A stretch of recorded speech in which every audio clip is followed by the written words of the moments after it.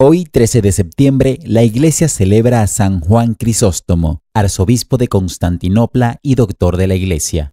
Este incomparable maestro recibió después de su muerte el nombre de Crisóstomo o Boca de Oro en recuerdo de sus maravillosos dones de oratoria, pero su piedad y su indomable valor son títulos todavía más gloriosos que hacen de él uno de los más grandes pastores de la Iglesia. San Juan nació en Antioquía de Siria, alrededor del año 347. Era hijo único de Segundo, comandante de las tropas imperiales. Su madre, Antusa, que quedó viuda a los 20 años, consagraba su tiempo a cuidar de su hijo, de su hogar y a los ejercicios de piedad. Su ejemplo impresionó tan profundamente a uno de los maestros de Juan, famoso sofista pagano, que no pudo contener la exclamación, ¿qué mujeres tan extraordinarias produce el cristianismo?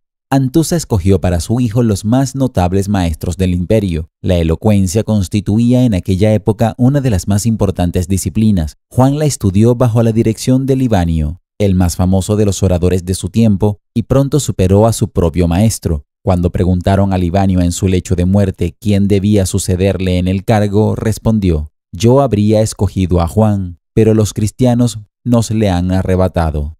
De acuerdo con la costumbre de la época, Juan no recibió el bautismo sino hasta los 22 años, cuando era estudiante de leyes. Poco después, junto con sus amigos Basilio, Teodoro, que fue más tarde obispo de Mopsuesta, y algunos otros, empezó a frecuentar una escuela para monjes, donde estudió bajo la dirección de Diodoro de Tarso y, el año 374, ingresó en una de las comunidades de ermitaños de las montañas del sur de Antioquía. Más tarde, escribió un vívido relato de las austeridades y pruebas de esos monjes. Juan pasó cuatro años bajo la dirección de un anciano monje sirio y después vivió dos años solo en una cueva.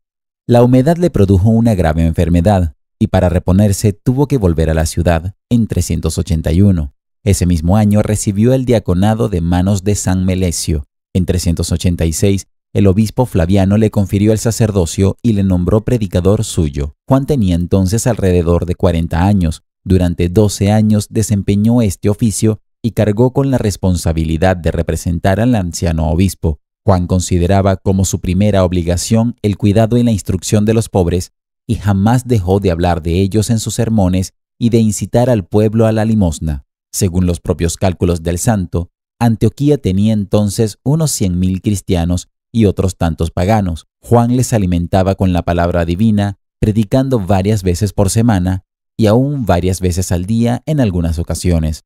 Cuando el emperador Teodosio I se vio obligado a imponer un nuevo tributo a causa de la guerra con Magno Máximo, los antioquenses se rebelaron y destrozaron las estatuas del emperador, de su padre, de sus hijos y de su difunta esposa, sin que los magistrados pudiesen impedirlo. Pero pasada la tempestad, el pueblo empezó a reflexionar en las posibles consecuencias de sus actos y el terror se apoderó de todos y aumentó cuando se presentaron en la ciudad dos oficiales de Constantinopla que venían a imponer el castigo del emperador al pueblo.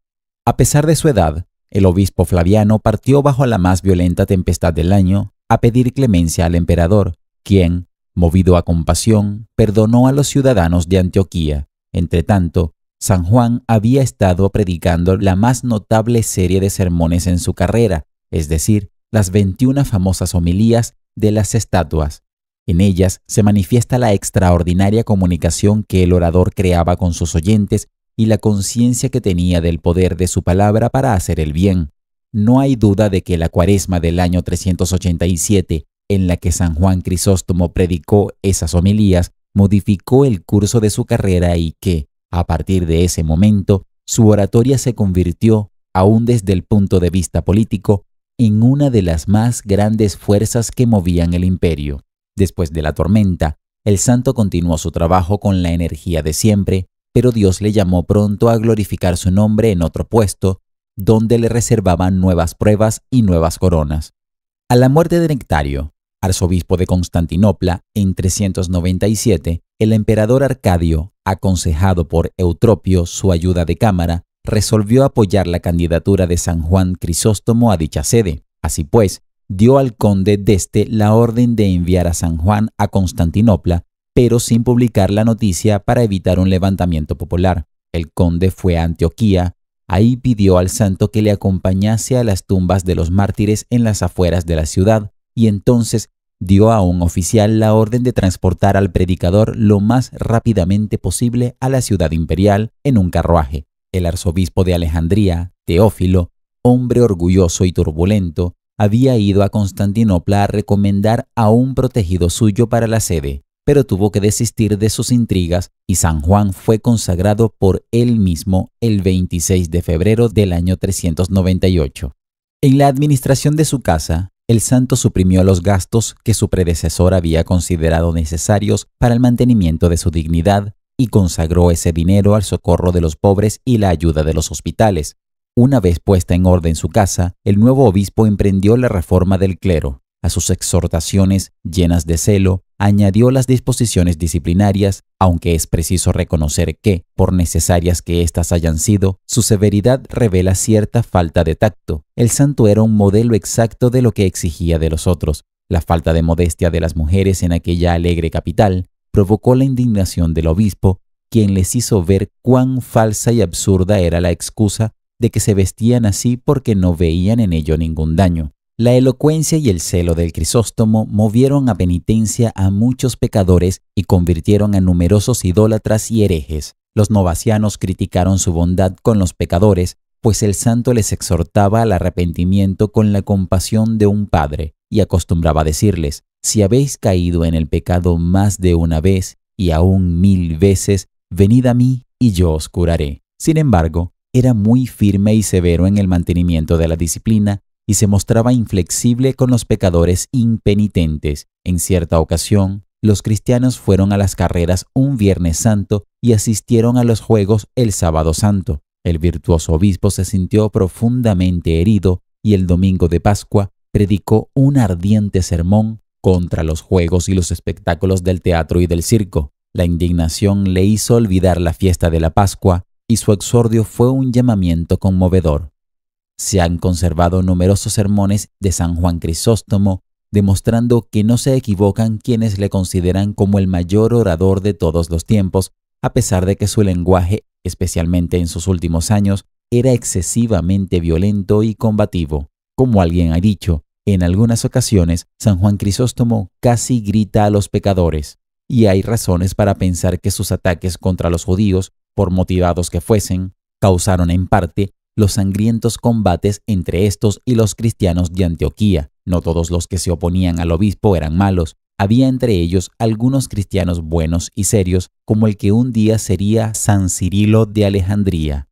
Otra de las actividades a las que el obispo consagró sus energías fue la fundación de comunidades de mujeres piadosas. Entre las santas viudas que se confiaron a la dirección de este gran maestro de santos, probablemente sea la más ilustre la noble Santa Olimpia. San Juan Crisóstomo no se limitaba a mirar por los fieles de su rebaño, sino que extendía su celo a las más remotas regiones. Así, envió a un obispo a evangelizar a los escitas nómadas y a un hombre admirable a predicar a los godos. Palestina, Persia y muchas otras provincias distantes sintieron los benéficos efectos de su celo. El santo obispo se distinguió también por su extraordinario espíritu de oración, virtud esta que predicó incansablemente, exhortando a los mismos laicos a recitar el oficio divino a medianoche. Muchos artesanos, decía, tienen que levantarse a trabajar a medianoche, y los soldados vigilan cuando están de guardia. ¿Por qué no hacéis vosotros lo mismo para alabar a Dios? Grande fue también la ternura con que el santo hablaba del admirable amor divino, manifestado en la Eucaristía y exhortaba a los fieles a la comunión frecuente. Los negocios públicos exigieron a menudo la participación de San Juan Crisóstomo, por ejemplo, a la caída de la ayuda de Cámara y antiguo esclavo Eutropio, en 399 predicó un famoso sermón en presencia del odiado cortesano, quien se había refugiado en la catedral detrás del altar. El obispo exhortó al pueblo a perdonar al culpable, ya que el mismo emperador a quien habían injuriado directamente le había perdonado. Como dijo el santo, en adelante no tendrían derecho a esperar que Dios les perdonase si no perdonaban entonces a quien necesitaba de misericordia y de tiempo para hacer penitencia. Pero San Juan Crisóstomo tenía todavía que glorificar a Dios con sus sufrimientos, como lo había hecho con sus trabajos. Y, si miramos el misterio de la cruz con ojos de fe, reconoceremos que el santo se mostró más grande en las persecuciones contra él que en todos los otros actos de su vida. Su principal adversario eclesiástico fue el arzobispo Teófilo de Alejandría antes mencionado, que tenía muchos cargos contra su hermano de Constantinopla. Enemigo no menos peligroso era la emperatriz Eudoxia. San Juan había sido acusado de haberla llamado Jezabel, y la malevolencia de algunos vio un ataque a la emperatriz en el sermón del obispo contra la malicia y vanidad de las mujeres de Constantinopla. Sabiendo que el obispo Teófilo no quería al Crisóstomo, Eudoxia se unió a él en una conspiración para deponer al obispo de Constantinopla. Teófilo llegó a dicha ciudad en junio de 403, acompañado de varios obispos egipcios. Se negó a alojarse en la casa del santo y reunió un conciliábulo de 36 obispos en una casa de Calcedonia llamada La Encina. Las principales razones que se alegaban para deponer a Juan eran que había depuesto a un diácono por haber golpeado a un esclavo, que había llamado réprobos a algunos miembros de su clero, que nadie sabía cómo empleaba sus rentas, que había vendido algunos objetos que pertenecían a la iglesia, que había depuesto a varios obispos fuera de su provincia, que comía solo y que daba la comunión a quienes no observaban el ayuno eucarístico. Todas las acusaciones eran falsas o carecían de importancia. San Juan reunió un concilio legal en la ciudad y se rehusó a comparecer ante el conciliábulo de La Encina. En vista de ello, el conciliábulo procedió a firmar la sentencia de deposición y a enviarla al emperador, añadiendo que el santo era reo de traición, probablemente por haber llamado Jezabel a la emperatriz. El emperador dio la orden de destierro contra San Juan Crisóstomo. Constantinopla vivió tres días de gran agitación y el Crisóstomo lanzó un vigoroso manifiesto desde el púlpito. Violentas tempestades me acosan por todas partes, dijo, pero no las temo, porque mis pies descansan sobre la roca. El mar rugiente y las gigantescas olas no pueden hacer naufragar la nave de Jesucristo.